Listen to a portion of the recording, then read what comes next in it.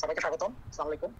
আজকে আমরা এসবি আপনাদের রেসিডেন্সির এসবি স্পেশাল ব্যাচ এই আজকে টপিক হলো কার্ডিওভাস্কুলার ফিজিওলজি এটা নিয়ে আজকে ডিসকাস করব আমি Genesis mentor doctor Kumar Saha. বর্তমানে ফেসবি রেসিডেন্ট হিসেবে আছি কার্ডিওভাস্কুলার সিস্টেমের ফিজিওলজি নিয়ে আমরা আসলে আজকে ডিসকাশন করতে যাচ্ছি এবং মেইনলি এটা কিন্তু আসলে একটা স্পেশাল একটা এক্সপিরিয়েন্স আপনাদের জন্য এবং আমাদের মেন্টরদের জন্য। এক্সপিরিয়েন্স এর আগে রেসিডেন্সি তো কিন্তু এসবিএ পোর্শনটা ছিল না। কিন্তু যেহেতু এবার ডিপ্লোমাতে এসবি এর একটা একটা অংশ ছিল সো এটা আশা করাই যায় যে রেসিডেন্সিতেও আমরা তার একটা প্রতিফলন দেখতে পাবো রেসিডেন্সিতেও বিশটা মার্ক হলো যে ফিজিওলজি থেকে আমরা পাবো। তো সেই আলোকেই আজকে কার্ডিওভাস্কুলার ফিজিওলজিতে শুধু এসবি এর জন্য ইম্পর্টেন্ট নিয়ে আমরা ডিসকাস করতে সিঙ্গেল টেস্টের জন্য আসলে কীভাবে করতে হবে এবং এসবি স্পেশাল টপিক কোনগুলো আসতে পারে কার্ডিওভাস্কুলার ফিজিওলজি থেকে এবং আমরা কীভাবে সেটা মানে আপনারা কীভাবে সেটা অ্যান্সার করবেন, আপনাদেরকে কীভাবে কোন কোন জায়গা থেকে আপনাদের পড়লে আপনারা এটা করতে পারবেন। কারণ রেসিডেন্সিতে কিন্তু একটা ভেরি ভেরি কম্পিটিটিভ এক্সাম এবং এই কম্পিটিশনে টিকে থাকার জন্য বা কম্পিটিশনে একটা ভালো ফল নিয়ে আসার জন্য কিন্তু আসলে সব সেকশনে বা সব সিস্টেমের একটা ভালো ধারণা থাকা খুব প্রয়োজন। সেই জিনিসটাকে আপনারা ই করবেন। তো আজকে কার্ডিওভাস্কুলার সিস্টেমের ফিজিওলজি দিয়ে আমরা ডিসকাশনটা স্টার্ট করি। সিভিএস ফিজিওলজি স্পেশাল এসবিএ ব্যাচের জন্য এসবিএ পোর্শন নিয়ে আজকে ডিসকাশন তো আমি প্রথমেই বলে নিই যে কার্ডিওভাস্কুলার সিস্টেম ফিজিওলজিটা কিন্তু অন্যান্য সিস্টেম থেকে একটু আলাদা। এবং সিভিএস ফিজিওলজিতে বেশিরভাগ সময় দেখা যায় কি যে কার্ডিওভাস্কুলার সিস্টেমের ফিজিওলজির মধ্যে একটা বেশ কমপ্লিকেটেড পোর্শন থাকে, সেটা কিন্তু আমরা সবসময় অনেক মিস করেছি। সেটা কি? সেটা হলো ভাস্কুলার ফিজিওলজি তো এই জন্য কার্ডিওভাস্কুলার সিস্টেমের ফিজিওলজিকে আসলে দুইটা ভাগে ভাগ করা একটা কার্ডিয়াক ফিজিওলজি আর একটা হলো ভাস্কুলার ফিজিওলজি আমি সবসময় বলি যে ভাস্কুলার ফিজিওলজিটা বেশি ইম্পর্টেন্ট কারণ এই ভাস্কুলার ফিজিওলজিতে আপনাদের এক্সপিরিয়েন্সটা একটু কম পড়ালেখার এটা কম বা বোঝাটা একটু কঠিন। এই জন্য আমি ভাস্কুলার ফিজিওলজিকে গুরুত্ব সবসময় অনেক বেশি দিই, আপনারাও গুরুত্ব দিবেন এবং আপনারা আশা করতে পারেন ভাস্কুলার ফিজিওলজি থেকে আপনারা অবশ্যই প্রশ্ন পান সেটা আইদার একটা এসবিএ হতে পারে, সেটা আইদার হলো যে রেসিডেন্ট কি বলে এমসিকিউ হতে পারে, যে সেকশনেই হোক। কার্ডিওভাস্কুলার সিস্টেমের ফিজিওলজি কিন্তু খুবই গুরুত্বপূর্ণ। আমরা শুরু করি ভাস্কুলার ফিজিওলজি দ্য পোর্শন যেটা আপনাদের শীতে মোটামুটি ছয় থেকে সাত পেজের মতো আছে, যে vascular physiology cardiovascular system related কথাবার্তা, তারপরে হলো যে কীভাবে আমরা ভেসেলের টোটাল ক্রিটিক্যাল ডিজিজ ইত্যাদি ইত্যাদি টপিকগুলো নিয়ে আর কি আমরা প্রথমে ডিসকাস তো আসি আমরা প্রথম এসে, যে যখন আপনাদের প্রথম কোশ্চেন আসবে যে আসলে ব্লাড ভেসেলটা কত রকম বা টাইপস অফ ব্লাড ভেসেল এই ধরনের একটা প্রশ্ন আসে, যেটা আপনারা এমসিকিউতেও কোশ্চেন বা আপনারা জানেন যে এই ধরনের একটা প্রশ্ন আসে যে classification of blood vessels on the physiological point of view সেটা হলো যে আমরা বলি যে উইনকেসেল ভেসেলস বা যেটা আমরা যদি হার্টের থেকে চিন্তা করি, যে কার্ডিয়াক হার্ট থেকে বের হয়ে আমরা কি কীভাবে যাচ্ছি? হার্ট থেকে বের হয়ে প্রথমেই আমরা চলে যাচ্ছি কি অ্যাওয়ার্টা এবং অ্যাওয়ার্টা কি করছে? অ্যাওয়ার্টা ফুল বডিতে ব্লাড সাপ্লাই দিচ্ছে তো এই যে অ্যাওয়ার্টা অথবা রেনাল আর্টারি অথবা ধরেন হলো যে রেডিয়াল আর্টারি বা ফিমোরাল আর্টারি এদের কাজটা কি যে অ্যামাউন্ট অফ দ্য ব্লাড যেটা আছে, সেই ব্লাডটাকে আসলে ডিস্ট্রিবিউট করা to the to the peripheral level cellular লেভেলে এটাকে ডিস্ট্রিবিউট করাটাই কিন্তু কাজ। কার্ডিওভাস্কুলার সিস্টেমের উইনকেসেল ভেসেলস ডিস্ট্রিবিউশন বিজনেস সেই জন্য এখানে যেটা বলা হয় যে আপনারা স্লাইডে দেখতে পাবেন যে এয়ারটেল কি থাকে? প্রচুর ইলাস্টিক টিস্যু থাকে এবং তাদের হলো ডিস্ট্রিবিউশন হয়। তো এসবি একটা আসতে পারে যে what are the Windkessel vessels type of Windkessel vessel বা উইনকেসেল ভেসেল আমরা কাকে বলি? সেকেন্ড যেটা মোস্ট ইম্পর্টেন্ট এসবি তে আসা সবচেয়ে কমন কোশ্চেন এটা, সেটা হলো হোয়াট আর দ্য রেজিস্ট্যান্স তো resistance vessels as a on the basis of SB হবে কি? রেজিস্ট্যান্স আর্টারিয়ালস এবং এই যে আর্টারিয়ালস যেগুলো আছে আমি মার্ক করে দিয়েছি this is very common SB তো what are the resistance vessels বা মোস্ট কমন সবচেয়ে বেশি টোটাল পেরিফেরাল রেজিস্ট্যান্স হয় কোন লেভেল সেটা হলো আর্টারিয়ালস এরপর হতে পারে এক্সচেঞ্জ ভেসেল যেখানে আসলে নিউট্রিয়েন্টসগুলো এক্সচেঞ্জ হয় লাইক ক্যাপিলারি মেটাকারি ক্যাপিলারি ফিনিক্স এবং লাস্টে হলো পুরো ভেনাস সিস্টেম যেটাকে আমরা ভাগ করি ক্যাপাসিটি যারা ক্যাপাসিটি অনেক বেশি, যারা জাস্ট তাদের হাইয়েস্ট ক্যাপাসিটিতে ব্লাডকে ধরে রাখে। তাহলে ক্যাপাসিটি তো দেখেন, যখন আপনারা একটা নর্মাল স্ট্রাকচার চিন্তা করবেন যে একটা ভেসেলের আসলে স্ট্রাকচারটা কেমন, আমরা জানি যে একটা ব্লাড ভেসেলের মধ্যে একদম বাইরে থাকে টিউনিকা অ্যাডভেন্টিশিয়া মাঝখানে টিউনিকা মিডিয়া এবং একদম ভেতরে থেকে টিউনিকা ইন্টিম পরে জেনারেল পার্সপেক্টিভ আপনারা এটা মনে রাখবেন, যে যত সেন্ট্রাল থেকে মানে হার্টের থেকে দূরে যাবে, তত টিউনিকা এক্সটার্না যেটা আছে, এটা থিন হতে থাকবে টিউনিকা মিডিয়াটা ঠিক হতে থাকবে। এই জন্য মোস্ট অ্যামাউন্ট অনেক সময় কোশ্চেন আছে যে সবচেয়ে বেশি টিউনিকা ইনভেন্টিশিয়া কোথায় আছে, বা ইলাস্টিক টিস্যু কোথায় থাকে, সেটা হলো একদম ফার্স্টে বলছিলাম যে উইনকেসেল ভেসেল তার হলো ইলাস্টিক আর্টারি আর্টারি আর সবচেয়ে বেশি স্মুথ মাসেলের থাকে কিন্তু আর্টারি এই দুটা টেস্ট দিয়ে আমরা এসবি আসলে কোশ্চেন হিসাবে না, বরং আমরা টেস্ট দিয়ে গুলো, আমরা হলো হচ্ছে টপিক হিসাবে প্রত্যেকটার মধ্যে মুখে বলে দেবো আসলে এই এসবি গুলো এই জায়গা থেকে আসছে। তারপরে দেখেন এই যে এগুলো যে একটা পেরিফেরাল ভেসেলস এবং ক্যাপিলারি যেখানে arteriole meta arteriole pre capillary স্ট্রিংটাস capillaries এবং পোস্ট ক্যাপিলারি ভেরিয়েন্স এই হলো যে সার্কুলেশনের বা মাইক্রো সার্কুলেশনের পার্ট যেখানে এই লেভেল পর্যন্ত ব্লাড আসার পরে এখানে এসে আরবিসির সাথে অক্সিজেন এবং কার্বন ডাইঅক্সাইডের এক্সচেঞ্জটা হয় এবং আস্তে আস্তে কার্বন ডাইঅক্সাইড এনরিচড ব্লাড এখান থেকে চলে দ্যাট ইজ ওয়াই এই পোর্শনটাকে আমরা বলি কি? এই পোর্শনটাকে আমরা বলি হলো এক্সচেঞ্জ ভেসেলস এবং এই এক্সচেঞ্জ ভেসেলস এর কম্পোনেন্ট কি কি? আপনারা সবাই জানেন যে meta arteriole arteriole pre capillary sphincters capillaries আর পোস্ট ক্যাপিলারি এই যে এক্সচেঞ্জ ভেসেল যেখানে আমাদের নিউট্রিশনগুলো এক্সচেঞ্জ হয়, এখান থেকে একটা এসবি আসতে পারে যে এই এক্সচেঞ্জ ভেসেলের মধ্যে আমাদের মোস্ট পারমিয়েবল পোর্শন কোনটা? সবচেয়ে permeable portion most permeable portion হলো আমাদের post capillary variance post capillary variance তারপরে দেখেন আমরা এই এক্সচেঞ্জ ভেসেলের মধ্যেই সবচেয়ে ইম্পর্টেন্ট পার্ট হলো ক্যাপিলারিস এই ক্যাপিলারিস এর মধ্যে একটা জিনিস মনে রাখবেন ক্যাপিলারি থেকে আসা সবচেয়ে কমন এসবি হলো যে সবচেয়ে বেশি ক্রস সেকশনাল এরিয়া কাদের আছে এটাও একটা ক্যাপিলারি স্ট্রাকচার আমরা দেখতে পাচ্ছি, যেটা খুবই ইম্পর্টেন্ট যে ক্যাপিলারিতে কিছু না, একটা single layer of endothelial cell থাকে এবং তার বাইরে একটা বেসমেন্ট মেমব্রেনের কাভারিং থাকে। এই single layer of endothelial cell এবং কাভারিংটা যখন সম্পূর্ণ কোনো ফেনেস্ট্রা বা কোনো গ্যাপ জাংশন না থাকে, তখন আমরা সেটাকে বলি কন্টিনিউয়াস ক্যাপিলারি যখন সেলগুলোর মধ্যে বেসমেন্ট মেমব্রেন ছাড়া বেসমেন্ট মেমব্রেনটা কন্টিনিউয়াস বাট এন্ডোথেলিয়াল লেয়ারের মধ্যে যদি ছোট ছোট ফেরিস্টেশন থাকে, তখন আমরা এটাকে বলি ফেরিস্টেটেড ক্যাপিলারিস আর যখন বড় বড় গ্যাপ জাংশন থাকে, যেখান থেকে বড় বড় আসলে লার্জ নিউট্রিশিয়াস পার্টিকেলগুলো পাস করে, তখন আমরা এটাকে বলি হলো large intercellular gap it is defined as sinusoidal capillaries so ক্যাপিলারির এই জায়গাটা থেকে প্রত্যেক বাড়ি প্রশ্ন আসে, এই বক্সটা আপনাদের জন্য infinity star toll board MCQ এবং এসবিএ এমসিকিউ হিসাবে আসতে তো যে আসতে পারে, আর এসবিএ হিসাবে আসতে পারলে আসতে পারে যে সাইনোসয়েডাল ক্যাপিলারির মধ্যে কোনটা নয় ফেনিস্টেটেড ক্যাপিলারি কোনটা কোনটা ফেনিস্টেটেড ক্যাপিলারি না, কোনটা কন্টিনিউয়াস ক্যাপিলারি এইভাবে কোশ্চেনটা আসতে পারে। তো এই বক্সটা আপনাদের শীটেরও পেজ নাম্বার ছাব্বিশ বা সাতাশের দিকে আছে। ইনফিনিটি স্টার যেমন ফেনিস্টেটেড ক্যাপিলারি উদাহরণ হলো বাইক মনে রাখি আমরা brain intestine kidney and endocrine gland pancreas আর স্প্লিনের ক্ষেত্রে আমরা মনে রাখি হলো spleen liver adrenal gland adrenal hypophysis এবং লিভার সায়েন্স ল্যাব তো দেখেন, তাহলে আমরা যে ভাস্কুলার ক্যাপিলারি কি করলাম, এখান থেকে কিছু স্যাম্পল এসবিএ এখানে আমি আসলে কোনো এমসিকিউ বা কোনো অপশন রাখি নাই because in perspective of SBA একটা জিনিস মনে রাখবেন যে অপশন না দেখে, এই ধরনের কোশ্চেনের অ্যান্সার আপনাদেরকে অপশন না দেখে করতে হবে। Option is not to help you but to confuse তো আপনারা যদি মনে করেন যে উইদাউট অপশন আপনারা একটা অ্যান্সার জানেন, তো আপনাদের পারার পসিবিলিটিটা অনেক বেড়ে যাবে তো আমরা অলরেডি ডিসকাস করে ফেলছি আই হোপ আপনারা এটা অ্যান্সার করতে পারবেন যে টোটাল ক্রস এরিয়া কোনটা? আমি বলেছি অলরেডি যে ক্যাপিলারি এরিয়া হলো টোটাল ক্রস এরিয়া এবং এটা হলো অ্যারাউন্ড সাড়ে চার হাজার, সবচেয়ে বেশি, চার হাজার পাঁচশো। আর সর্বোচ্চ সেকেন্ড কোশ্চেন কি আছে? হাইস্ট কে দেয় হাইস্ট দেয় হলো আমাদের এবং এটা হলো around fifty percent of the কিন্তু একটা কোশ্চেন আসছে যে এই যে পেরিফেরাল ভেসেলে এটা আসলে কোন রিসেপ্টর দিয়ে মেডিয়েটেড আমরা সবাই জানি যে peripheral blood ভেসেলের is mediated by alpha one receptor তাহলে এই তিনটা আমাদের কমন এসবিএ আমরা এই টপিক থেকে কমনেস্ট এসবিএ যেগুলো আছে এর বাইরে আমি বলেছি যে হাইয়েস্ট ক্যাপিলারি পারমেবিলিটি থাকে কোথায়? সেটা হলো যে ক্রস হাইয়েস্ট ক্যাপিলারি পারমেবিলিটি সবচেয়ে বেশি পোর্শন হলো পোস্ট পোস্ট ক্যাপিলারি আর এই জায়গাগুলো থেকে পড়তে হবে। এটা হলো পেরিফেরাল ভাস্কুলার সিস্টেম নিয়ে আমাদের একদম বেসিক ভাস্কুলার নিয়ে একদম বেসিক কয়েকটা কথা, যেখান থেকে আপনারা করতে এখন পেরিফেরাল ভেসেলের আমরা ভাগ করি কীভাবে যে সার্কুলেশন ইন দ্য স্পেশাল যে বডির কোন কোন জায়গাতে আমাদের স্পেশাল যে সার্কুলেশনের কিছু ভাগ আছে। তো এখানে আপনারা একটা চার্ট দেখতে পাচ্ছেন, এই চার্টের থেকে আপনাদের তিনটা প্রশ্ন আসে। ফার্স্ট অফ অল যে প্রশ্নটা আসে, সেটা হলো যে সবচেয়ে বেশি আমাদের বডির কার্ডিয়াক আউটপুটটা কোথায় তো আপনারা ফ্রম দ্য বক্স আপনারা দেখতে পাচ্ছেন যে সবচেয়ে বেশি ব্লাড ফ্লো কিন্তু আছে আমাদের লিভারে because it is a large organ it is endocrine collar organ and there is high level of metabolism in liver that is why liver has got the highest level of blood supply এবং এটাকে বলা হচ্ছে যে liver has got the highest level of blood supply এই জন্য এখানে cardiac output সবচেয়ে বেশি এবং এখানে অ্যারাউন্ড পনেরোশো এম এল প্রতি মিনিটে কার্ডিয়াক আউটপুট যায়। সেকেন্ড কোশ্চেন আসে যে highest level of blood supply in per hundred gram of tissue অর্থাৎ আমরা যদি অর্গেন হিসাব করে না করে যদি আমরা অ্যাভারেজ হিসাব করি যে পার গ্রাম অফ টিস্যুতে গড়ে সবচেয়ে বেশি ব্লাড স্যাম্পল কোথায় যাচ্ছে? দ্যাট উইল বি কিডনি কারণ কিডনিতে তার নিজের পারফিউশন মেনটেন করার জন্য ব্লাড চাই, আবার কিডনিতে কিছু ব্লাড যায় for glomerular filtration reabsorption and secretion ঠিক আছে? তাহলে এই দুটো জিনিস এখানে মনে রাখবেন যে লিভার এবং কিডনিতে অনেক সময় আসে, প্রশ্ন আসে যে হাইয়েস্ট কনজাম্পশন হয় কোথায়? অক্সিজেন কনজাম্পশন সবচেয়ে বেশি হয় কোথায়? তো পার মানে অর্গান সিস্টেম যদি হিসাব করে যে per M L gram of tissue যদি হিসাব করে যে সবচেয়ে বেশি অক্সিজেন হয় হিসাবে, তাহলে সেটার অ্যান্সার হবে হার্ট এটা মনে যে এটার সবচেয়ে, এটার অ্যান্সার হবে হার্ট হার্টে পার গ্রাম অফ টিস্যু হিসাবে সবচেয়ে বেশি অক্সিজেন নেক্সট একটা কোশ্চেন আসে যে আমাদের স্পেশাল যে রিজিয়নগুলো আছে, এদের মধ্যে কোন জায়গায় সার্কুলেশনটা কেমন এবং তাদের মেইনটেনেন্সটা কেমন? হাউ ইজ ইট এখানে একটা বক্স আমরা দেখতে পাচ্ছি। একটা জিনিস আপনারা মনে রাখবেন সাইডে আমি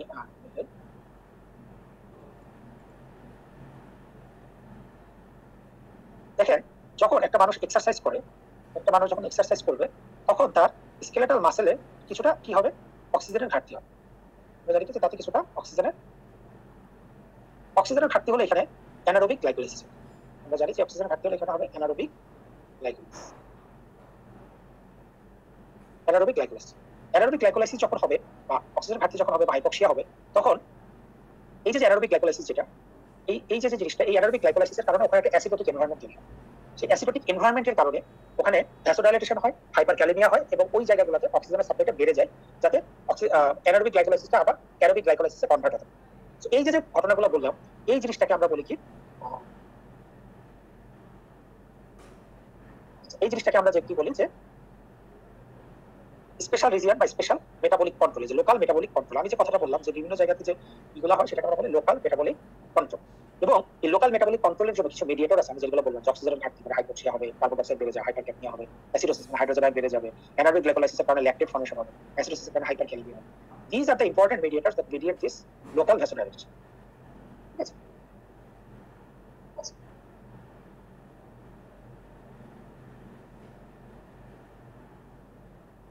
এই জন্য আপনাদের পরীক্ষাতে যেটা প্রশ্নটা আসে, আমরা দেখছি যে কোশ্চেন আসে হলো যে what are the most common organs that are supplied by the local metabolic control এই ধরনের একটা প্রশ্ন আসে।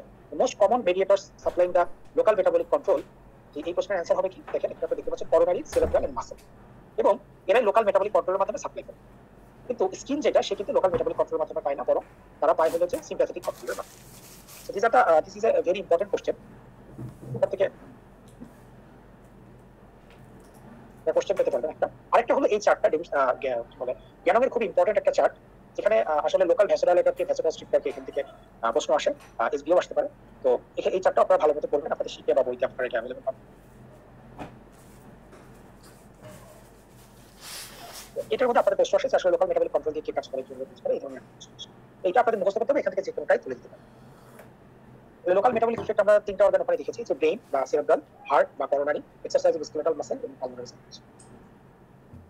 এবং আমাদের প্রশ্ন আসে যে আসলে এই যে নিজের অর্গান নিজের ব্লাড সাপ্লাইকে নিজেই মেনটেন করতে পারার যে ক্ষমতা, এই জিনিসটাকে আসলে কি বলে? এই জিনিসটাকে বলা হয় অটো রেগুলেশন এবং আমাদের বডিতে ম্যাক্সিমাম অনেকগুলো অর্গান আছে যেখানে আসলে অটো রেগুলেশন কি হয়, যেমন brain myocardium liver kidney skeletal muscle এবং এরা কাজ করে এই প্রশ্নটা খুব ইম্পর্টেন্ট যে কোন মেকানিজমে অটো রেগুলেশনটা মেনটেন সেটা হলো by the metabolic theory of auto তাহলে দেখেন, এখানে আমরা আবার কিছু এসবিএ দেখি। প্রথম কোশ্চেন কি? যে autoregulation is most developed in which organ তাহলে একটা কোশ্চেন আমরা যে অটো রেগুলেশনগুলো পড়লাম, যে নিজের অর্গানের ব্লাড সাপ্লাইকে নিজেই মেইনটেইন করতে পারার যে ক্ষমতা সেই অটো রেগুলেশনটা আসলে কোন কোন অর্গানে আছে এবং কোন অর্গানে সবচেয়ে ডেভেলপ তাহলে কোন কোন অর্গানে আছে অলরেডি দেখে ফেলছি। তবে এদের মধ্যে সবচেয়ে ডেভেলপ কোন অর্গান এনি গেজেস কেউ কি গেস করবেন কিনা?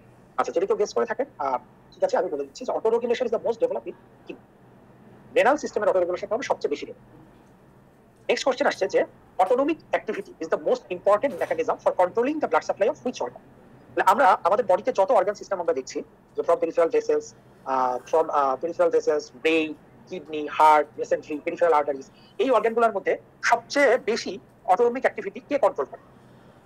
এই কোশ্চেনের অ্যান্সার অনেক সময় অনেকে কনফিউজ থাকেন।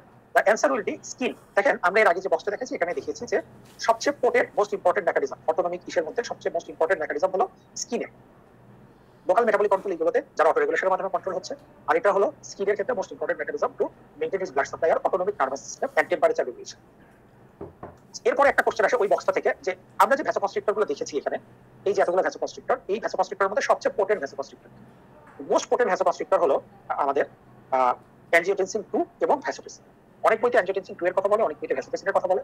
ফ্রম দ্য রেফারেন্স আপনারা মনে রাখবেন যে বডির সবচেয়ে পোটেন্ট ভ্যাসোকনস্ট্রিক্টর হলো vasopressin which is four times more potent than angiotensin আর যদি ভ্যাসোপ্রেসিন না থাকে, তাহলে অ্যানজিওটেনসিন তাহলে এই দেখেন, তিনটা এসবি আমরা দেখলাম এই জায়গা থেকে।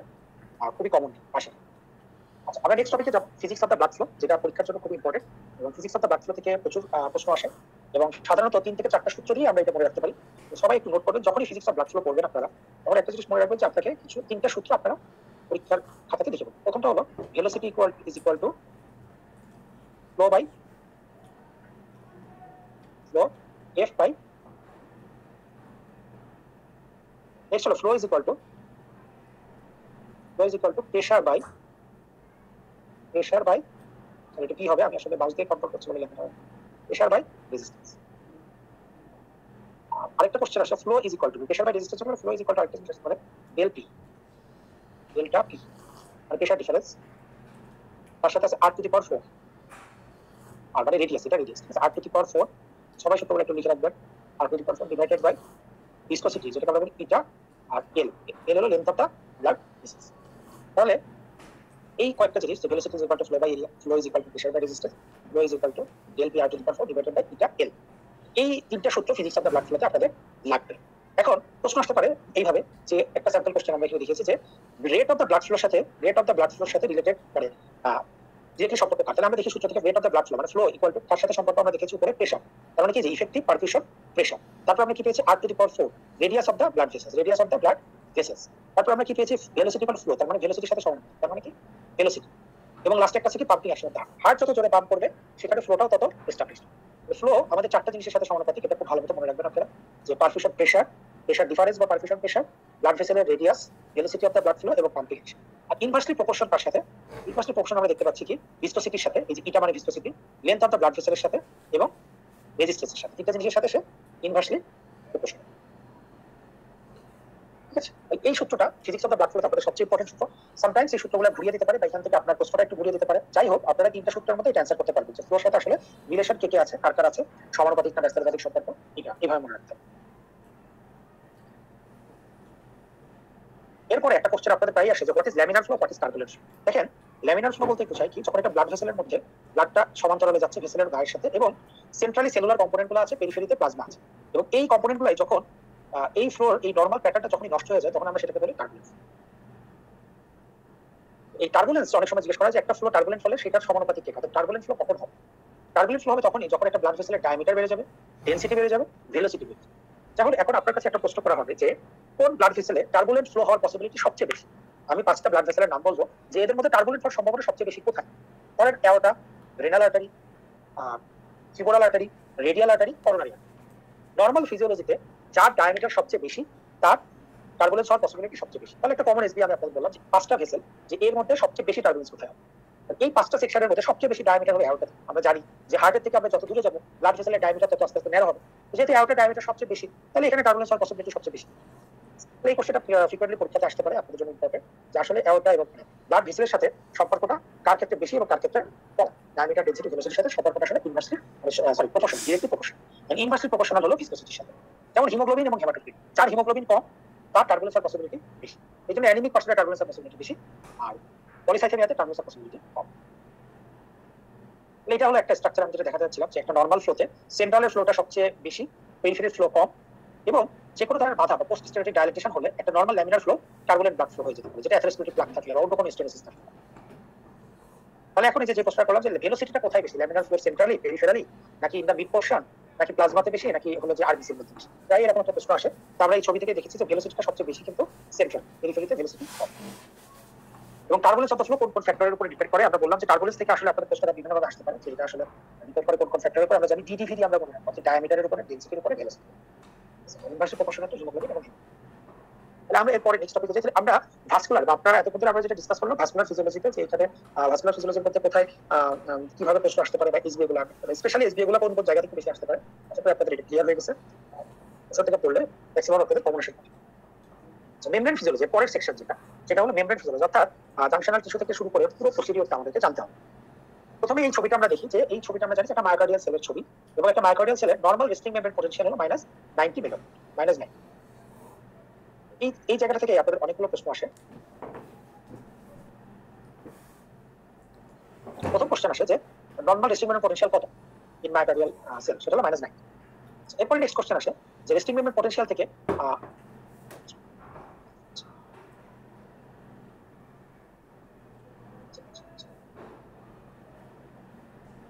নেক্সট কোশ্চেন আসে এখান থেকে যে ডিপোলারাইজেশন যেটা ডিপোলারাইজেশন মানে কি? যে সেলের মধ্যে সেল নেগেটিভে ছিল তার মধ্যে একটা পজিটিভ কম পরের সেজ বিয়ে হলো যে হোয়াট ইজ দ্য কমনেস্ট মানে what is the commonest ion for the depolarization of sodium entry of sodium next question আসে আমরা জানি যে প্লাটো ফেজ খুবই ইম্পর্টেন্ট ফেজ এই প্লাটো ফেজের জন্য দায়ী আয়ন কোডটা সেটা হলো ক্যালসিয়াম এবং এটা কোন অ্যানেলতে ঢুকে? অনেক সময় আসে যেটা voltage gated calcium channel slow voltage gated calcium এবং লাস্টে ডিপোলারাইজেশনের দায়ী জন্য দায়ী হলো পটাশিয়াম এফ্লাক্স পটাশিয়াম এফ্লাক্স বের হয়ে যাবে These are the four SBA that, that you can expect from this membrane potential physiology of cardiac cell.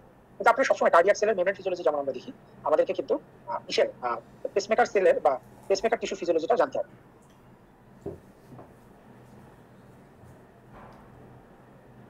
এরপরে যেটা আসে যে সে যেটা হচ্ছে এইচ যে for the action potential in pacemaker pacemaker সেলের সাথে সম্পর্ক কি দেখেন যে এখানে কিন্তু কোনো, আমরা দেখছি এখানে পুরো ওভারশুট হচ্ছে, এখানে কিন্তু কোনো প্লাটু ফেজ কিন্তু এখানে একটা এক্সট্রা ফেজ থাকে যেটা ছবিতে দেখা হয় সেটা একটা প্রি পটেনশিয়াল পেসমেকার টিস্যু অর্থাৎ নোডের যদি আমরা অ্যাকশন দেখি, সেটা চেহারাটা হবে এমন এবং সেটার সাথে নর্মাল ডিফারেন্সটা কি? সেটা হলো প্লাটো আছে নর্মাল এখানে নাই, কিন্তু এর প্রি আছে। এবং এটা রেস্টিং পটেনশিয়ালটা এখানে মাইনাস নাইনটি বুঝতে গেছে বেশি। এই জন্য এরা খুব সহজ এক্সাইটেড তাহলে আমরা দেখলাম যে মেমব্রেন ফিজিওলজিতে কিন্তু একটা কমন মেকানিজম হলো যে সোডিয়ামের entry depolarization followed by calcium entry এবং এই যে ক্যালসিয়ামটা এটা কিন্তু মায়োকার্ডিয়াল তেলে কন্ট্রাক্টিলিটির জন্য খুব ইম্পর্টেন্ট রোল প্লে করে। এই ছবিতে আপনারা দেখতে পাচ্ছেন যে ডিউরিং মেমব্রেন ফিজিওলজি বা ডিউরিং মেমব্রেন পটেনশিয়াল প্লাটোফেজে যে ক্যালসিয়ামটা ঢুকছে। সেই ক্যালসিয়ামটা কিন্তু প্রোপোনিন সি এর সাথে বাইন্ড করে। এবং প্রোপোনিন সি এর সাথে বাইন্ড করার পরে অ্যাক্টিভ এবং প্রোপোনিনের মধ্যে একটা ইন্টারাকশন হয়। এবং অ্যাক্টিভ এবং প্রোপোনিনের মাঝখানের এই ইন্টারাকশনে হলো যে, দেখেন, একটা, এই ক্যালসিয়ামটা প্রোপোনিন সি এর সাথে বাইন্ড করার কারণে এই স্কিন ফিলামেন্ট যেটা হলো অ্যাক্টিন প্রোপোনিন এবং প্রোপোমাইসিন আর থিক ফিলামেন্টের মধ্যে ইন্টারাকশনটা ভালো মতো হচ্ছে। এবং লংগিটিউডিনাল ফোর্সের মাধ্যমে দুইটা ইসের মধ্যে একটা ওভারল্যাপ হচ্ছে প্রোপোনিন এবং অ্যাক্টিন এবং প্রোপোমাইসিনের মধ্যে একটা এরকম উপরে নিচে থাকে। কিন্তু ক্যালসিয়াম তাদের সিস্টেমটাকে অ্যাক্টিভ করে। মানে একজন আরেকজনের উপরে। এই যে সাবকোমিয়ারে যে চেঞ্জটা হচ্ছে বিটুইন প্রোপোনিন প্রোপোমাইসিন এবং অ্যাক্টিন প্রোপোমাইসিন এই যে যে ঘটনাটাকে এইটাই কিন্তু আমরা মাইক্রোডাল কন্ট্যাক্ট লিখি তো এই জায়গা থেকে আপনাদের এই গ্যানোমের ছবিটা খুব ইম্পর্টেন্ট থেকে আপনাদের চুজ নিয়ে আসা আমরা এই যে, তাহলে এখন দেখেন কোশ্চেন ফার্স্ট কোশ্চেন আসবে আপনাদের যে প্লাটোফেজের জন্য সবচেয়ে কমনলি দায়ী কোন ion? Commonest ion for plateau phase in normal myocardial cell আমরা অলরেডি দেখেছি যে দুটো একটি ক্যালসিয়াম সবচেয়ে মেনলি হলো ইনফ্লাক্স অফ ক্যালসিয়াম অনেক সময় প্রশ্ন আসে যে শুধু আয়ন না what is the most responsible for the plateau phase that is influx of calcium আবার আসে which is most responsible for action potential SNO এসএনওর জন্য সবচেয়ে দায়ী।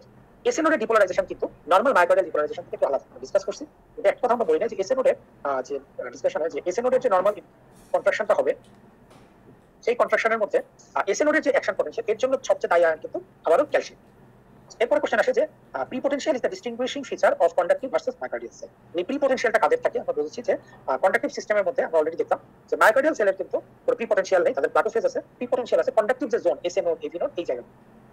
নেক্সট হলো আমাদের এক্সাইটেড আমাদের বডিতে এক্সাইটেড সেল কে কি আছে?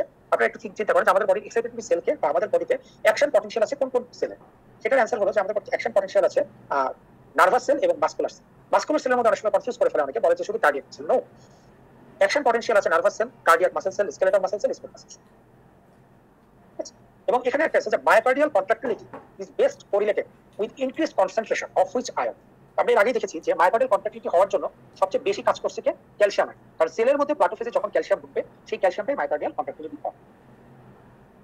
তারপর during myocardial contraction which of the components of sarcolemma binds with calcium সার্কোলেমার কোন পোর্শনটা ক্যালসিয়ামের সাথে বাইন্ড করেছে আমরা দেখেছি, যে ট্রোপোনিন সি এর সাথে ক্যালসিয়ামটা বাইন্ড করে, এবং সেই ট্রোপোনিন সি এর সাথে বাইন্ড করার ফলে অ্যাক্টিন মায়োসিন ট্রোপোনিন ট্রোপোমায়োসিনের একটা কমপ্লেক্স ফর্মেশন হয় that acts on contraction of the sarcolemma বা contraction of the myocardial cell তাহলে এটা ছিল আমাদের মেমব্রেন ফিজিওলজি অফ কার্ডিওভাস্কুলার সিস্টেমের যে মেমব্রেন ফিজিওলজি এখানকার কিছু কমনেস্ট প্যাটার্ন অফ এসবিএম আমরা ডিসকাস করলাম, যেখান থেকে এইভাবে প্রশ্ন আসতে পারে। এরপর আমরা একটু কান্ড কন্ডাক্টিভ জোন বা কন্ডাক্টিভ টিস্যুতে দেখি। আপনারা সবাই জানেন বেসিক ধারণা সবারই আছে। জাস্ট আমি একটু রিমাইন্ড করে দিই।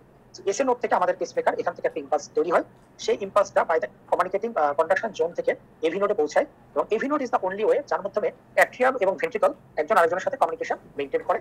Then the impulse goes through the AV node bundle of His and conductive zone দশটা ভেন্ট্রিকুলার মাস এই যে যে পুরো কন্ডাকশন সিস্টেম এর পার্ট কে কে আছে? SA node AV node bundle of His right bundle branch left bundle ব্রাঞ্চের অ্যান্টেরিয়র ফেসিক্যাল এবং posterior this are the conductive system বা কন্ডাক্টিভ টিস্যুস এই অংশটা কি আপনাদের ইসিজির সাথে একটু করতে হবে যে যখনই এসএ নোড আপনার হলো যে ই করতেছে মানে ইম্পালসটা তৈরি করছে ই আসছে কাজ শুরু হওয়া মাত্রই ইম্পালসটা প্রথমে অ্যাট্রিয়ামকে স্টিমুলেট করে অ্যাক্টিয়াল কন্ট্রাকশন হয়। সেই এসএ আমরা দেখি পি হিসাবে। এরপরে যেই এসএ নোড থেকে নোডে আসার পরে ভেন্ট্রিকল কন্ট্রাকশনের আগে যেই পোর্শনটা হলো যে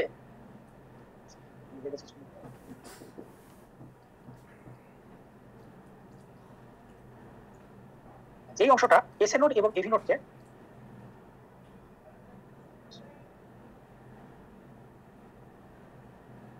এসএ নোডের ইম্পাসটা যাওয়ার পর, এই পয়েন্টে এসএ নোডের ইম্পাস তৈরি করল। তারপরে একটা কন্ট্রাকশন হচ্ছে। এরপরে এভি নোড, আমরা জানি এভি নোডাল একটা ডিলে হয় পয়েন্ট জিরো ফোর সেকেন্ড পর্যন্ত। এভি নোডটা কি করে? ওই জায়গাটাকে একটু করে? আটকায় ধরে রাখে। কারণ কি? ওই আটকে ধরে রাখার মাধ্যমে এভি নোড কি করবে? যে অ্যাকচুয়াল কন্ট্রাকশনটা শেষ হলে তারপরে ভেন্টিকুলার কন্ট্রাকশনটা শুরু হবে। এই কারণে এসএ নোডের ইম্পাসটা তৈরি হওয়ার পরে এসএ নোড, এভি নোডের মাঝখানে কিছু ইম্পাস তৈরি করে রাখে। সেই ভেন্ট্রিকলে আসার আগ পর্যন্ত, এই যে ডিস্টেন্সটা এই ডিস্টেন্সটা হলো পিআর ইন্টারভাল অর্থাৎ আমরা যদি আগের ছবিতে যাই, আমরা যদি আগের ছবিতে যাই, তাহলে এসএনোডের ইম্পাস তৈরি হওয়ার পরে এই রাস্তাটা পার হতে এবং এভিনোড যে ডিলেটা করে, যাতে ভেন্ট্রিকলটা ডায়াস্টলে যেতে পারে এই এবং অ্যাক্টিয়াল সিস্টেমটা কমপ্লিট হওয়ার পরে ভেন্টিকুলার সিস্টেম শুরু হয়। এই কাজটার জন্য যে এভিনোডাল ডিলেটা মেইনটেইন করে, এই ইন্টারভালটা হলো পিআর ইন্টারভাল এবং হার্ড ব্লকে কিন্তু এই পিআর ইন্টারভাল অর্থাৎ এভিনোডাল ব্লকে এই ইন্টারভালটা কিন্তু আস্তে আস্তে বড় হয় বা বড় হতে থাকে।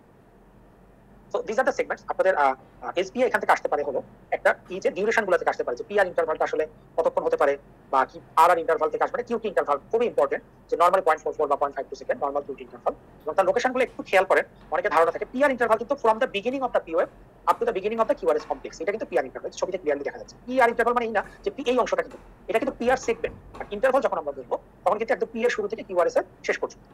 আবার কিউটি সেগমেন্ট যেটা, সেটা হলো কিউআরএস এর শুরু থেকে টি এর শেষ পর্যন্ত। এসটি সেগমেন্ট যেটা এস এর শেষ থেকে টি এর শুরু পর্যন্ত, তিনটা সেগমেন্ট যে ইন্টারভাল এবং সেগমেন্টটা আপনারা মনে রাখবেন বিকজ অনেক সময় প্রশ্ন দিয়ে দেয় sometimes people are so much মানে অনেক সময় অনেকে কনফিউজ হয়ে নর্মাল জিনিস এটা একটু খেয়াল রাখবেন। তাহলে কন্ডাক্টিভ সিস্টেম থেকে আমার কি ধরনের প্রশ্ন আসতে পারে থেকে? একটা প্রশ্ন আসতে পারে যে সবচেয়ে বেশি কন্ডাকশন স্পিডটা আসলে কোন কোন কন্ডাক্টিভ জোনের হাইয়েস্ট কন্ডাক্টিভ স্পিডটা আসলে কাদের আছে? তাহলে সবচেয়ে বেশি কন্ডাকশন স্পিড আছে কার? সবাই জানেন যে সবচেয়ে বেশি ইম্পালস ফর্মেশনের রেট অনেকে কনফিউজ করে ফেলেন। একটা কথা মনে রাখবেন যে যত আমরা উপরে থাকব, উপর থেকে কন্ডাক্টিভ জোনের উপর থেকে নিচের দিকে যাব স্পিড তত বাড়বে বাট রেট অফ কন্ডাকশন তৈরি করার ক্ষমতা হলো কমতে থাকবে।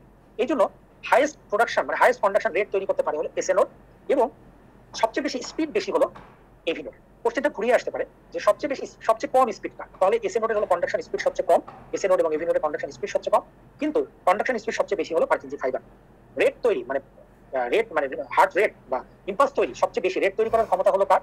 সেটা হলো এসএ নোডের কিন্তু সবচেয়ে বেশি ইম্পালস করার ক্ষমতা হলো এসএ বাট সবচেয়ে বেশি করার ক্ষমতা হলো সরি সবচেয়ে কম রেট তৈরি করার ক্ষমতা কার? ফাইবার। আমি আরেকটু মানে আমার কথাটা হয়তো ই হয়ে গেছে, আমি সহজভাবে বলি এখানে, যে হাইস্ট কন্ডাকশন স্পিড সবচেয়ে বেশি স্পিড মানে তৈরি করে দিয়েছেন আপনি, সেই ইম্পালসটা সবচেয়ে দ্রুত যাবে কোথায়? সবচেয়ে হাইস্ট স্পিড হলো পার্কিনজি ফাইবার পার্কিনজি ফাইবারের স্পিড সবচেয়ে বেশি, কিন্তু রেট তৈরি করার ক্ষমতা হলো সবচেয়ে কম ফর্টি আর এসএ নোডের স্পিড সবচেয়ে কম কিন্তু রেড করার ক্ষমতা পেসমেকার টিস্যু যেটা তার ইম্পালস জেনারেট করার স্পিড হলো ক্ষমতা হলো সবচেয়ে বেশি। ওই কারণে এসএনওডের ইম্পালস হলো ষাট থেকে একশো, কিন্তু স্পিড হলো খুবই কম পয়েন্ট জিরো ফাইভ ফাইবারের স্পিড হলো four metre per second but rate তৈরি করার ক্ষমতা অনেক কম অ্যারাউন্ড ফর্টি এরপর অনেক সময় আসে যে conduction tissue responsible for filling আমরা অলরেডি ডিসকাস করছি যে ফিলিংকে ই করার জন্য কন্ডাকশন করার জন্য ফিলিংটাকে যাতে ভালো মতো হতে পারে, এই জন্য আমাদের ইসে মেনটেন করে কে? এটা মেনটেন করে হলো কন্ডাকশন এটা মেনটেন করে এভিনোড এভিনোড এই জায়গাতে গ্যাপ দেয় বলেই পিআর ইন্টারভালটা হয় এবং পিআর ইন্টারভাল হয় বলেই ওই টাইমটাতে ভেন্টিকলটা মানে ফিলিং হওয়ার সময়। এছাড়া স্ট্যান্ডস আমরা সবাই জানি যে কোন তিনটা কেন হয়, আমি আবার সবাইকে মনে করিয়ে দিই। কারণ জিনিস অনেক সময় আসে যে হয় হলো for atrial depolarization and TOF for ventricular depolarization U wave যেটা সব সময় থাকে না occurs for ventricular এই ক্যাপিলারি মাসেলের depolarization এইটা আপনারা মনে রাখবেন ইসিজি থেকে কন্ডাকশন জোন থেকে, এবং প্রত্যেকের স্পিডটা আপনাদের জন্য ইম্পর্টেন্ট মানে এইগুলো হলো একটা প্যাটার্ন অফ কোশ্চেন এই চার পাঁচ রকম চার পাঁচটা কোশ্চেন আমরা দেখলাম এই ধরনের প্রশ্ন কিন্তু আসতে এরপরে যেটা করছেন যে হার্ট রেট রিলেটেড করছেন যে হার্ট রেট আসলে কোথায় বেশি, কোথায় কম, কেমন থাকতে পারে, বাড়ার এবং কমার অনেকগুলো পজ আমরা এখানে দেখতে পাচ্ছি। আপনারা হার্ট রেট কমার পজগুলো মুখস্থ করবেন ডান পাশে। এটা মনে রাখবেন ফাইন জিসিএস দিয়ে আপনাদের জেনেসিসি শিটেও কার্ডিওভাস্কুলার সিস্টেম ফিজিওলজি শিটেও এটা দেওয়া আছে ফাইন জিসিএস ফিয়ার তারপরে যে কীভাবে বিফ এটা মিলবে। অনেক সময় প্রশ্ন আসে যে একজন পার্সন আপনার কাছে আসলো, আমি ওকে বলছি কিছু সবকিছু আসলে স্লাইডে দেখানো ফোকাস থাকে একজন পার্সন আপনার কাছে আসলেন, উনি হলো যে আছে হঠাৎ করে তার হেড ইঞ্জুরি হয়েছে হেডেক হয়েছে হেড ইঞ্জুরি হয়েছে, এখন তার হার্ট রেটটা কেমন হবে? তারপর মনে রাখবেন যে increase intracranial pressure is a very important cause for reduction in the increase intracranial প্রেশারের কারণে অনেক সময় কিন্তু important cause reduction in heart rate ICP বেড়ে গেলে রেট কমে যায়। এটা খুব একটা কমন সিনারিও বা কমন একটা রিলেশনশিপ অনেক সময় এখানে আসে যে নার্ভ সাপ্লাই হার্টের নার্ভ সাপ্লাই থেকে আপনারা একটা জিনিস, কয়েকটা জিনিস মনে রাখেন যে দেখেন কন্ডাক্টিভ জোনে আমাদের parasympathetic supply conductive zone maintenance মানে প্যারাসিম্প্যাথিক সাপ্লাই আমাদের হার্টের জন্য negative inotropic negative chronotropic negative dromotropic অথচ হার্ট রেটও কমাবে। সে হলো যে হার্ট রেটও কমাবে। জোন যেটা সেটা হলো আমাদের মানে হার্ট রেটও কমাবে।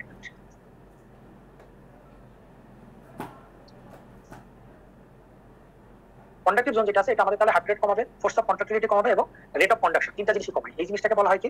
এই এই জিনিসটাকে বলা হয় যে negative inotropic negative negative chrono আপনারা এই ছবিতে একটু খেয়াল করেন যে দেখেন প্যারাসিম্প্যাথিক নার্ভ কিন্তু কন্ডাক্টিভ জোনগুলোতে সাপ্লাই দিচ্ছে এবং সাথে কিছু অংশ সে মাসেলও সাপ্লাই দিচ্ছে। বাট সিম্প্যাথিক নার্ভ যেটা হলো যে ফ্রম দ্য থোরাকল আমরা রিজিয়ন সিম্প্যাথিক চেইন তার প্রিন্সিপাল সাপ্লাই কিন্তু ভেন্ট্রিকল সাপ্লাইটা আসলে বেশি ইম্পর্টেন্ট না। কারণ কোশ্চেন আসে যে এটা কোন জায়গা থেকে আসছে, কি আসছে এসবি আসছে। যেমন একটা কোশ্চেন দেখেন নার্ভ সাপ্লাই ফ্রম হার্ট যে sympathetic supply of noradrenergic fibers কোন জায়গা থেকে আসছে সিম্প্যাথিক সাপ্লাই আপনারা অনেকে জানেন যে নরএড্রেনার্জিক যে ফাইবারগুলো আছে এটা সিম্প্যাথিক সাপ্লাইটা আসে হলো সার্ভাইকাল গ্যাংলিয়া বা সার্ভাইকাল গ্যাংলিয়ার মধ্যে একটা ইম্পর্টেন্ট গ্যাংলিয়া হলো স্টিলেট গ্যাংলিয়া আরেকটা কোশ্চেন আসে যে সিম্প্যাথিক সাপ্লাই হার্টের কোন পার্টে বেশি? প্যারাসিম্পাথেটিক সাপ্লাই হার্টের কোন পার্টে বেশি?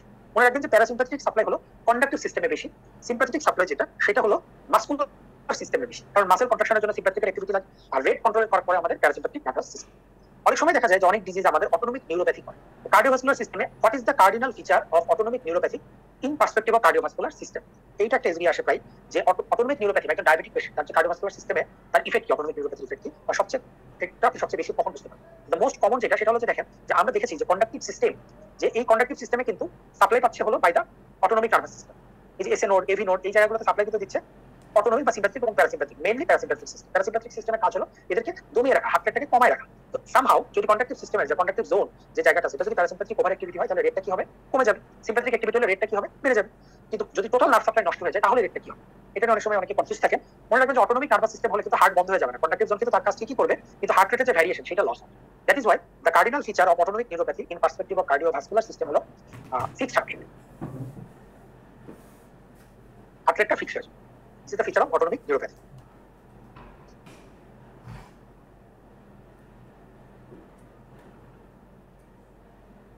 আমরা আরেকটা জিনিস হার্টের নার্ভ সাপ্লাই এবং কন্ডাক্টিভ জোন নিয়ে রিলেটেড কিছু এসবিএ দেখলাম। মানে আমরা নেক্সট টপিকে যাই। সেটা হলো হার্ট সাউ পরীক্ষার জন্য খুব important heart sound heart murmur pulse blood pressure examination portion of any system is important for exam specially for SB তাহলে আমরা সবাই জানি যে হার্ট সাউন্ড আছে চারটা। ফার্স্ট সাউন্ড কেন হয় second sound third sound fourth sound তাহলে ব্রড ডিসকাশন এগুলোর মধ্যে আমরা যাব না। ফার্স্ট কোশ্চেন এসবিএ যেটা এখান থেকে আসতে পারে, সেটা হলো যে আমাদের হার্ট সাউন্ডগুলোর মধ্যে মানে সবচেয়ে বেশি দীর্ঘ সময় নিয়ে কি হয়? But which one is the most time consuming এবং which one is the most সবচেয়ে বেশি জোরে কোনটা শোনা যায় মানে হাইস্ট অ্যাম্পলিটিউড কারেন্ট এই ধরনের কিছু প্রশ্ন আসতে পারে। থার্ড সাউন্ড ফোর্থ সাউন্ডের অনেক কজ আছে এখান থেকে এসবি আসতে পারে। ফিজিওলজিক্যাল কজ স্পেশালি আমরা জানি যে থার্ড সাউন্ডের একটা ফিজিওলজিক্যাল কজ কিন্তু হলো frequency hyperdynamic circulation anaemia heart failure এগুলো থেকে থার্ড সাউন্ড থাকে। ফোর্থ সাউন্ড কিন্তু যে কোনো লেফট ভেন্ট্রিকুলার হাইপারট্রফিতে থাকে। সো এস ফোর এর কমনেস কজ হলো এলভিএইচ এস থ্রি এর কমনেস কজ হলো, এবং S four is always pathological but S three can be physiological আমরা একটা জিনিস দেখতেছি সাউন্ডের সাথে আসলে রিলেশন আমরা কীভাবে করতে পারি? আপনারা স্ক্রিনে দেখতে পাচ্ছেন, এটা খুব সুন্দর একটা ছবি দেওয়া আছে যে সাউন্ডের সাথে ইসিজি রিলেশনশিপ ইসিজি কিউআরএস এর সাথে সাউন্ড ইজ রিলেটেড এরপর হার্ট সাউন্ডের পরে নেক্সট কোশ্চেন আসে অ্যাডেড সাউন্ড আমরা জানি যে আমাদের অ্যাডেড সাউন্ড যেটা আমাদের আছে, সেটাকে আমরা বলি কি হার্ট সাউন্ড বা মারমার এবং এই যে টার্বুলেন্ট ফ্লো যেটা, এই টার্বুলেন্ট ফ্লো যখন হার্টের মধ্যে হয় তখন মারমার ফর্মেশন হয়। যখন পেরিফেরিতে তখন সেটা আমরা বলি বুই তো এই মারমারকে সিস্টোলিক এবং ডায়াস্টোলিক দুটা ভাগে ভাগ করা হয়। সিস্টোলিকের মধ্যে মেইনলি আছে ইজেকশন সিস্টোলিক এবং ট্রান্সিস্টোলিক হয়। আপনারা মনে রাখবেন ইজেকশন সিস্টোলিক মারমারের একটা কজ হলো অ্যারোটিক স্টেনোসিস পালমোনারি স্টেনোসিস মানে যখন হার্টের থেকে ব্লাডটা বের হয়ে যাচ্ছে। তখন right ventricle by pulmonary stenosis যখন left ventricle by aortic stenosis অথবা এএসডি তেও পিএস এর মতো মারমার হয়।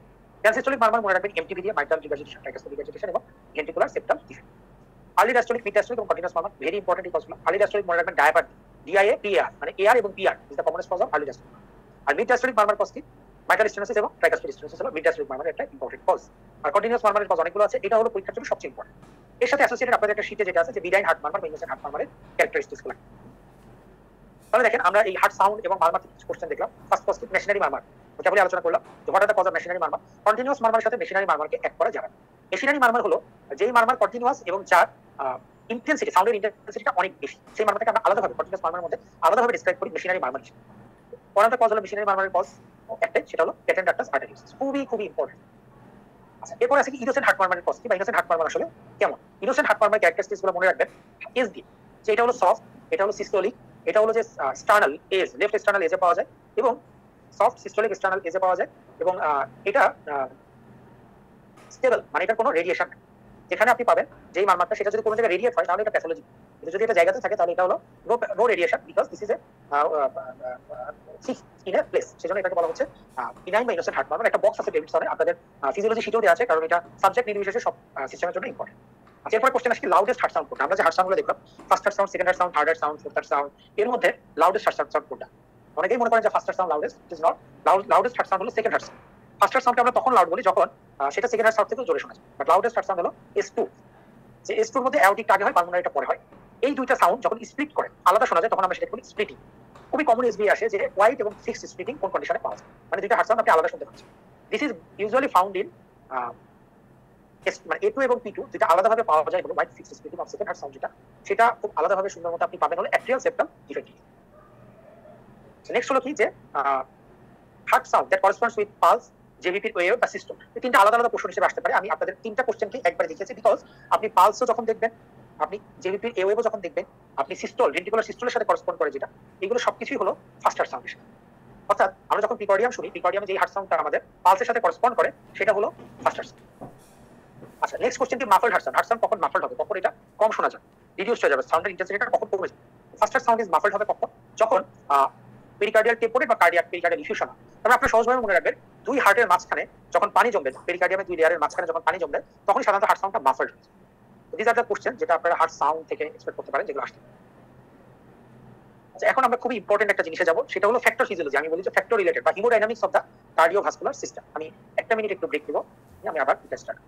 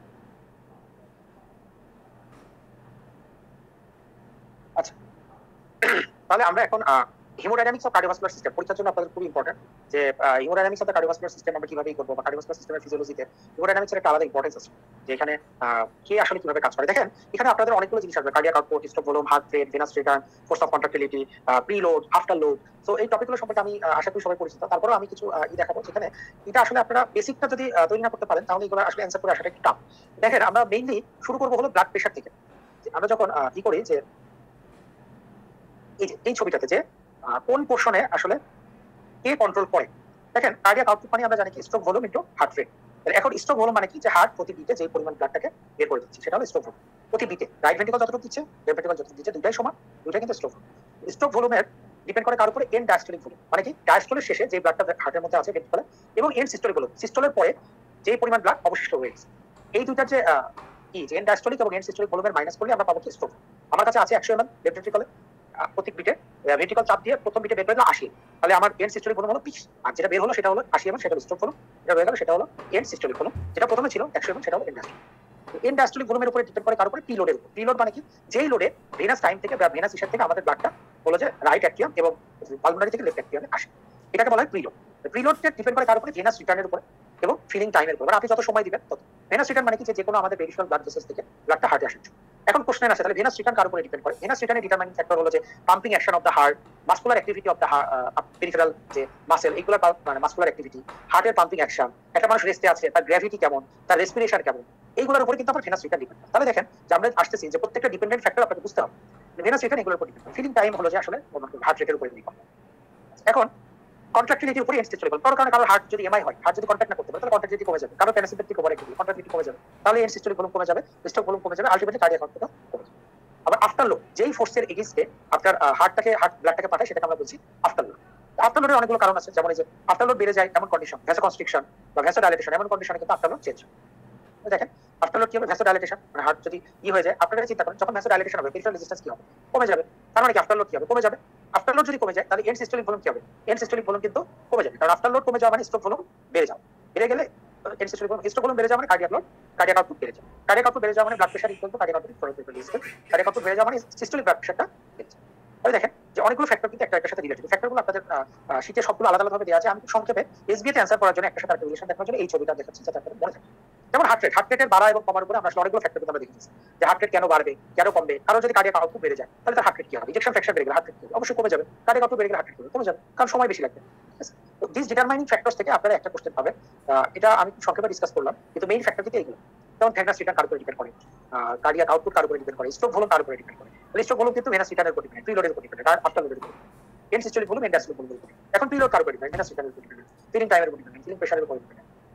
supply So there so many factors. There are so many factors that the uh, load, the output of uh, of uh, heart. এখানে ওইটারই একটা simplified way হলো factors regulating cardiac output এখানে দেখেন যে কার্ডিয়াক আউটপুট হার্ট রেট এবং stroke ভলিউমের উপর স্ট্রোক ভলিউম ডিপেন্ড করে মাইকার্ডিয়াল ফাইবার শর্টেনিং এবং লেফট ভেন্ট্রিকুলার সাইজের উপরে। মাইকার্ডিয়াল ফাইবার শর্টেনিং ডিপেন্ড করে আবার আফটার লোডের উপর কারণ আফটার লোড যদি বেশি হয় মাইকার্ডিয়াল ফাইবার শর্টেনিং হতে পারবে না বেশি, কারণ সে ব্লাড পাঠাতে পারবে অল্প ব্লাড পাঠিয়ে সে আবার ডায়াস্টোলে চলে যাবে। এই জন্য মাইকার্ডিয়াল ফাইবার সাথে এটা সম্পর্কটা কিন্তু ইনভার্সলি প্রপোর্শনাল বাকিগুলোর সাথে ডিরেক্টলি প্রপোর্শনাল কন্ট্রাক্টিলিটি বাড়লে মাইকার্ডিয়াল ফাইবার শর্টেনিং বাড়লে স্ট্রোক ভলিউম বাড়বে প্রিলোড বাড়লেও মাইকার্ডিয়াল ফাইবার শর্টেনিং বাড়বে। পেরিফেরাল রেজিস্ট্যান্স কার্ডিয়াক আউটপুট বাড়বে আর্টারিয়াল ব্লাড আর কার্ডিয়াক আউটপুটের সাথে সম্পর্ক সিস্টোলিক ব্লাড বেশি। টোটাল রেজিস্ট্যান্স সাথে সম্পর্ক ডায়াস্টোলিক ব্লাড বেশি। Factors of cardiac output stroke heart rate venous return এই জিনিসগুলো আপনাদের ভালো মতো করতে হবে। এরপরে যে পোর্শনটা থেকে আসলে, খুবই পছন্দের একটা জায়গা সাবজেক্ট জন্য বাইশ সেটা হলো পালস প্রেশার কখন বাড়ে, কখন কমে, এটা আপনার খুবই ভালো মতো মুখস্থ করবেন হোয়াইট পালস প্রেশার এবং ন্যারো পালস প্রেশারের কজগুলো দেখা বর্তমান প্রেক্ষিতে dengue is a very important cause for a narrow pulse pressure এবং ন্যারো পালস প্রেশার হয়ে যাওয়া পালস প্রেশার কমে যাওয়া মানে পেশেন্টটা শকের দিকে যাচ্ছে। এরপরে আসে ব্লাড প্রেশারের রেগুলেটরি সিস্টেম যেটা আমরা জানি ব্লাড প্রেশার আসলে কারা কারা রেগুলেট করে, আমরা সবাই জানি। এখান থেকে সময় আসে। যে শর্ট টার্ম কে কে করে বিসিসি গাজা ব্যারো রিসেপ্টর কেমন system long term renin angiotensin aldosterone stress relaxation temporary foods intermediate long term renin বা রেনাল হরমোনাল কিছু রেগুলেশন আছে আর রেনিন ছবিটা একটু খেয়াল করেন ছবিটা এত কমপ্লিকেটেড করে দেখার কিছু না সহজে ব্লাড প্রেশারের সাথে ব্লাড প্রেশার কমে যাবে কারণ বা ই কমে যাবে, তখন এখানে ব্যারো রিসেপ্টর এবং কেমো রিসেপ্টর সিস্টেমগুলো অ্যাক্টিভেটেড হবে হাইপোটেনশন হলে ব্যারো রিসেপ্টর কেমো রিসেপ্টর যেটা, সেটা সিএনএস এর কাজ করবে করে ব্যারো রিসেপ্টর এর কাজ করবে। যে কারোর ব্লাড ভলিউম কমে গেছে, তাহলে ব্যারো রিসেপ্টর অ্যাক্টিভেট হবে। কারোর ব্লাড পিএইচ এবং অক্সিজেন লেভেল কমে গেছে বা কার্বন ডাইঅক্সাইড বেড়ে গেছে কেমো রিসেপ্টর এই baroreceptor chemoreceptor reflex vasoconstriction করে শর্ট টার্মে কিন্তু ব্লাড প্রেশার রেজিস্ট্যান্স কার্ডিয়াক বাড়াবে একইভাবে রেনিং অ্যাঞ্জিওটেনসিন অ্যাড্রেসার সিস্টেম ইন্ডিকেট করে কাজ করে, আপনারা এখানে পড়ছেন যে সোডিয়াম ক্লোরাইড ওয়াটার অ্যাবজর্পশন করবে এবং অ্যাবজর্পশন করে রেনিং অ্যাঞ্জিওটেনসিন অ্যাড্রেসার সিস্টেমও কিন্তু ভলিউম বাড়াবে, ফলে অটোমেটিক প্রেশার হবে। আর কিছু মেকানিজম আছে, যেমন যে hormonal mechanism norepinephrine humoral ADH angiotensin they are all the hormones that causes vasoconstriction that increases the diameter of the constriction of the blood vessels and increases the pressure আমরা যদি এখানে দেখি systematic blood pressure যখন আসলে কমে যায়, তখন কি ঘটনা ঘটে? যে একটা হলো এফারেন্ট আর্টেরিয়াল ফিল্ট্রেশন প্রেশার কমে যাওয়ার কারণে রেনিন অ্যাঞ্জিওটেনসিন সিস্টেম অ্যাক্টিভেটেড উনি অ্যাঞ্জিওটেনসিন আমি বলছি one of the most potent vasoconstrictor of body সেটা নিজে থেকেই ভ্যাসোকনস্ট্রিকশন করে ব্লাড প্রেশার বাড়ায়। আবার অ্যাড্রিনাল গ্ল্যান্ডের উপরে কাজ করে কিন্তু ব্লাড প্রেশার বাড়াতে পারে by aldosterone sodium chloride and water একই সাথে পোস্টেরিয়র পিটিউটারির উপরে কাজ করে সে এডিএস কে অ্যাবজর্ব করে এবং এডিএস অ্যাবজর্পশনের মাধ্যমে সে কিন্তু এডিএস অ্যাবজর্পশনের মাধ্যমে কিন্তু সে ওয়াটার অ্যাবজর্পশন করে ব্লাড প্রেশার বাড়ায়। এটা হলো আমরা দেখতেছি যেটা ইন্টারমিডিয়েট এবং লং টার্ম মেকানিজম এই গ্রাফে আমরা যেটা দেখতে পাচ্ছি। এটা রিসেপ্টর যেটা, এটা আবার শর্ট টার্ম মেকানিজম তো this are so many mechanisms in the mechanism blood pressure এখানে ওই একটা ছবি দেখানো হয়েছে যে, এখানে আসলে কে কোথায় কীভাবে কাজ করে শর্ট টার্ম ইন্টারমিডিয়েট টার্ম এবং লং টার্ম মেকানিজমের ক্ষেত্রে। যে যখনই আপনার, তার মানে আমরা একটা জিনিস বুঝলাম যে ব্যারোরিসেপ্টর কেমন রিসেপ্টর কাজ করবে যখনই ব্লাড প্রেশার সাডেনলি কমে যাবে ব্যারোরিসেপ্টর স্টিমুলাস আসবে এবং অটোমেটিক নার্ভাস সিস্টেম করবে। এখন কোশ্চেন অনেকগুলোই আসে এখান থেকে ব্যারোরিসেপ্টর যেমন এই যে দেখেন, যে ব্যারোরিসেপ্টর কাজ করছে, এটা কি ক্যারোটিড আর্টারি বাইপাস কেমন রিসেপ্টর কাজ করছে? Aortic sinus sorry aortic body এবং ক্যারোটিড বডি এবং এখানে কিছু সেল থাকে, যারা very very very sensitive to হলো যে very very sensitive to blood very very sensitive to blood oxygen concentration এইভাবে ব্যারোরিসেপ্টর কেমোরিসেপ্টর এটা কাজ করে কার্ডিয়াক স্ট্রোক মানে হার্ট রেট মানে blood pressure this are mechanisms দেখেন। আপনাদের এখানে আমরা কিছু কোশ্চেন দেখেছি, যেগুলো আসলে এসবিএতে আসা আপনাদের খুবই কমন কমন কোশ্চেন যেমন ক্যারোরিসেপ্টর এবং কেমোরিসেপ্টরের সাইডগুলো করতে হবে। যেটা বললাম যে ক্যারোটিড এবং অ্যারোটিক রিজিয়ন থাকে। প্রিন্সিপাল মেডিয়েটর অফ কেমোরিসেপ্টর কেমোরিসেপ্টরের উপরে সবচেয়ে বেশি মেডিয়েট করে কি? মনে রাখবেন তিনটা ফ্যাক্টর কেমোরিসেপ্টরের উপরে কাজ করে হাইপক্সিয়া হাইপারক্যাপিয়া এবং অ্যাসিডিসিস এর মধ্যে সবচেয়ে পোটেন্ট কেমোরিসেপ্টর আমাদের দুই জায়গাতে সেন্ট্রালি আছে এবং সেন্ট্রালি আছে এবং পেরিফেরিতে আছে। পেরিফেরাল কেমোরিসেপ্টর যেগুলো অ্যারোটিক এবং ক্যারোটিড বডিতে থাকে, সেই পেরিফেরাল কেমোরিসেপ্টরের জন্য প্রিন্সিপাল মেডিয়েটর হলো হাইপক্সিয়া আর সেন্ট্রাল কেমোরিসেপ্টরের জন্য প্রিন্সিপাল কেমোরিসেপ্টর হলো হাইড্রোজেন আয়ন বা অ্যাসিডিস যেটা কার্বন ডাইঅক্সাইডের জন্য হয়।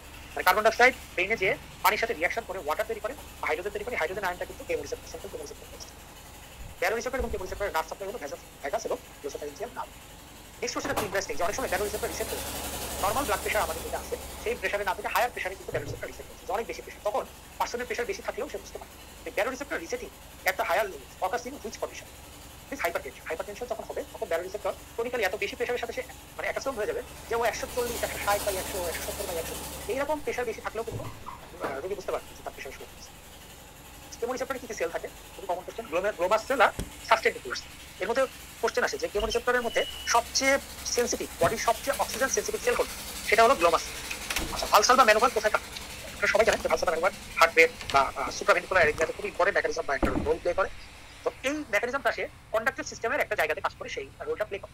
ভালসাল বা ম্যানোভার বা ভালসাল বা সিস্টেম কাজ করে ভাই দা ব্যারোরিসেপ্টর সিস্টেম এবং এর ইফারেন্ট অ্যাক্টিভিটি হয় on the AV last carotid sinus will result in activation of BP regulatory mechanism carotid sinus message আমরা যে দিই, এটাও কিন্তু ব্যারোরিসেপ্টরের উপরে কাজ করে। ভালসাল বা ম্যানোভার যেটা, এটাও ব্যারোরিসেপ্টরের উপরে কাজ করে। So remember all this the common questions বা যেটা আপনারা এই পোর্শন থেকে ফেস করতে পারেন, যে ব্যারোরিসেপ্টর কেমোরিসেপ্টরের রিলেটেড এবং জেনেসিসের শীতে এই খুবই সুন্দর করে ইংলিশ করা আছে, যে এখান থেকে আরও কোশ্চেন আসতে পারে। এমসিকিউ প্যাটার্নে এসবি আসতে পারে, যে ব্যারোরিসেপ্টর কেমোরিসেপ্টর অ্যাক্টিভ হলে তখন কে বাড়বে, কে কমবে ব্লাড প্রেশার বাড়বে, বা রেনিয়াজিটেশন সিস্টেমের উপর কি ইফেক্ট করবে কেমোরিসেপ্টর সেন্সিটিভ হলে সেটা সে কান্তার উপর ইফেক্ট করবে। এই ধরনের যে বিষয়গুলো আছে, এই জিনিসগুলো আপনারা এখান করতে পারবেন আচ্ছা এরপর খুবই কমন যেটা যে পালস পালস অল্টারনেটস এবং পালসেস প্যারাডক্সেস এই জিনিসটা খুবই ইম্পর্টেন্ট আপনারা এখান থেকে জিনিস করবেন cause of pulsus alternans cause of pulsus paradoxus bigeminal bisferiens বা ইম্পর্টেন্ট না। অল্টারনেটস এবং প্যারাডক্সেস এই দুটাই বেশি ইম্পর্টেন্ট এবং পালসেস প্যারাডক্সেস এসবিএতে আসার সম্ভাবনা বেশি। The most common cause of pulsus paradoxus হলো cardiac tamponade the most common cause of alternans হলো অ্যাডভান্স ভেন্ট্রিকুলার ফিল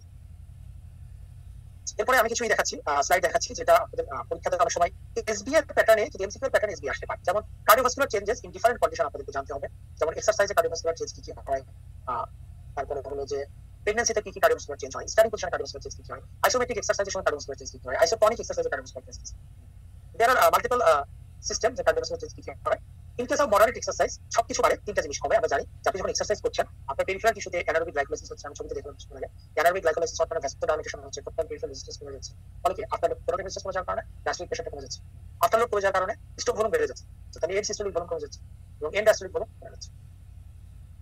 এই তিনটা জিনিস কমে, আর সবকিছু বেড়ে যায় যে during pregnancy gastric blood pressure systolic blood pressure peripheral resistance কমে হার্ট রেট বেড়ে যায় ডিউরিং স্ট্যান্ডিং কি কি চেঞ্জ হয় এটা তাহলে চেঞ্জেস আসলে আসার মতো কিছু নাই। কিন্তু এখান থেকে কিন্তু মাল্টিপল লাইন তুলে দেয় which of the is true or which of the one is false এইভাবে কিন্তু প্রশ্ন আসতে পারে। নেক্সট যেটা আসে জুগুলার পরীক্ষার জন্য খুব ইম্পর্টেন্ট জেবিপি থেকে। এবং জেবিপি থেকে আপনাদের যেটা কোশ্চেন আসবে সেটা হলো যে এমডি এমসিকিউতে আসতে পারে যে জেবিপি বাড়ার কারণ। পরীক্ষাতে এসবিএতে আসবে কি? যে প্রমিনেন্ট কস্ট প্রমিনেন্ট হওয়ার কস্ট কি ভি ওয়ে প্রমিনেন্ট হওয়ার কস্ট কি এই স্লাইডটা জন্য ইনফিনিটেসিমাল এবং প্রমিনেন্ট এর কস্ট আছে? রাইট হার্টের যে কোনো obstruction pulmonary stenosis pulmonary hypertension tricuspid stenosis যে কোনো কন্ডিশনে কিন্তু এ ওয়েটা প্রমিনেন্ট হবে। কেন হবে যখন কমপ্লিট হার্ট ব্লক একটা কজ বলে রাখবে এখানে কমপ্লিট এজি ব্লক অ্যাবসেন্ট হবে কখন? যখন অ্যাক্টিয়াল ফিব্রিলেশন হবে।